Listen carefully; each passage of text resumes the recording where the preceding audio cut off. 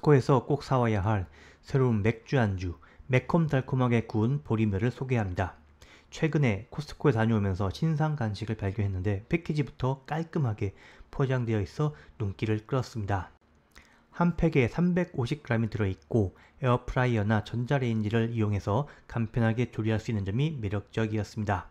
매콤달콤한 양념이 잘 배어있고 직화로 구워져 풍미가 아주 좋습니다.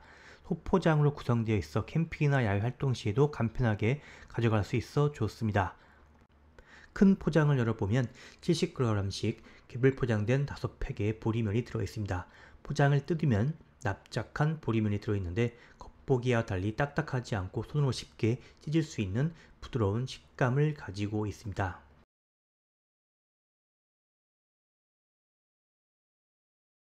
에어프라이어로 160도에서 2분 정도 조리해 보았는데 양념이 잘 배어있는 제품이라 오래 조리하면 탈 수 있으니 주의가 필요합니다. 3, 2분만 조리해도 노릇하게 익어서 맛있는 향이 퍼지니 금방 먹고 싶어졌습니다. 뜨거우니 꺼낼 때 조심하면 되겠습니다. 첫 맛은 쫀득한 식감과 함께 매콤달콤한 향이 입안에 퍼지면서 식욕을 자극하는데요. 매운 음식을 좋아하시는 분들께 아주 추천드리는 보리멸이 되겠습니다. 전자레인지로는 10초만 돌려도 간편하게 맛있는 보리면을 즐길 수 있는데요. 시간이 부족하거나 간편하게 먹고 싶을 때 전자레인지를 활용해 보시면 좋겠습니다.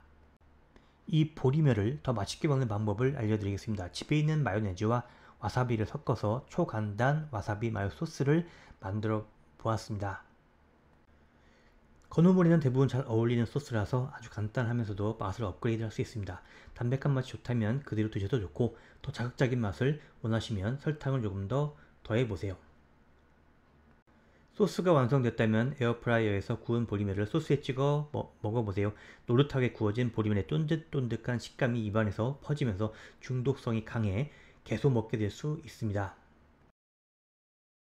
외관상 큰 차이는 없지만 개인적으로는 에어프라이어로 조리했을 때 더 맛있게 느껴졌습니다. 그리고 이걸 그냥 먹는 것보다는 시원한 맥주와 함께 곁들이면 정말 최고의 궁합인데요.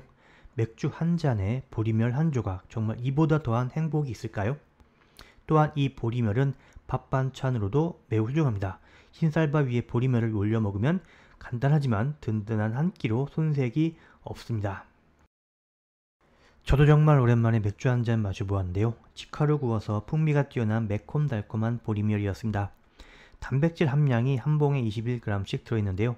입이 심심할 때나 술안주로도 좋고 캠핑 갈 때도 한번 간편하게 챙겨보세요.